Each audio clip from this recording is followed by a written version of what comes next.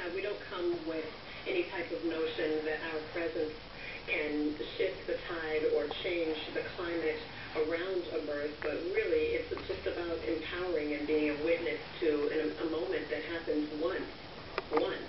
And there's something that is absolutely just wonderful about being able to be there and be their witness to something that happens. But it's a transition that, you know, you walk into a room with a laboring